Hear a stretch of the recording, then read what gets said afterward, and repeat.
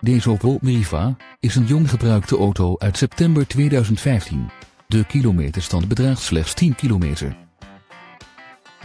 De benzinemotor wordt bediend met een handmatige transmissie. Heeft u belangstelling voor deze auto met Nationale Autopas?